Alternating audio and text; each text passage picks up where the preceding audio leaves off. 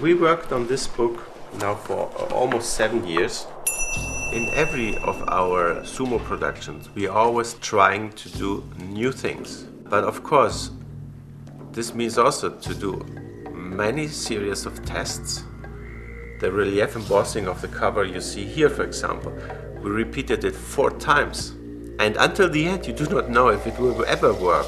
So, but this is the nice thing about you. You try to get the best, and at the end, if sometimes it's fantastic and you have the result you want, sometimes it does not work and you have to start over again, finding something different.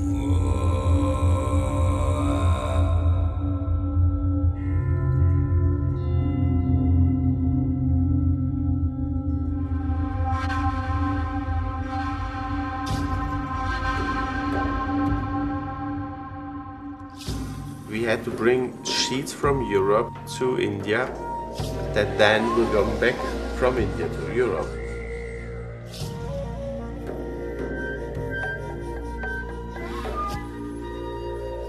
The murals can now be appreciated much better than on site.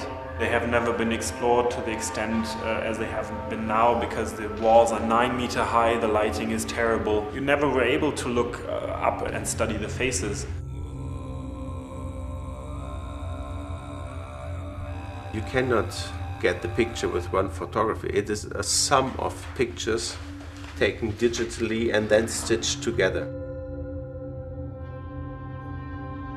This is the original color file and then we decided to print the picture with real gold.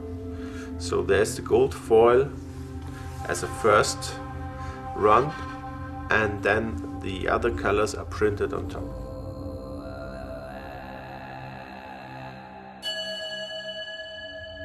For sure for each page we had at least five sets of proofs.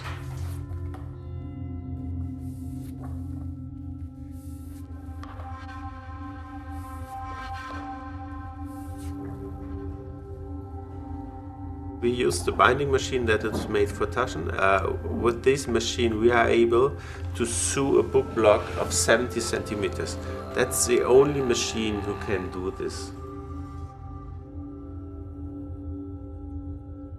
The uh, concept of the design for this bookstand is uh, created by uh, Shigeru Ban. He was asked by Benedikt Taschen to collaborate with this book. If you think about Shigeru Ban, he's been called the architect of compassion, and uh, that's a word that comes directly linked with uh, Buddhist philosophy.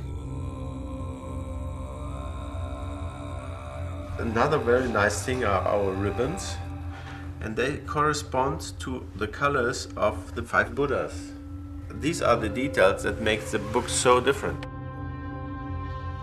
I always say it compares a little bit to having the Sistine Chapel unveiled for the first time, plus the most important examples of Christian art through the entire continent of Europe, and all of that assembled in one book that compares a little bit to, to what has been uh, done with the murals of Tibet.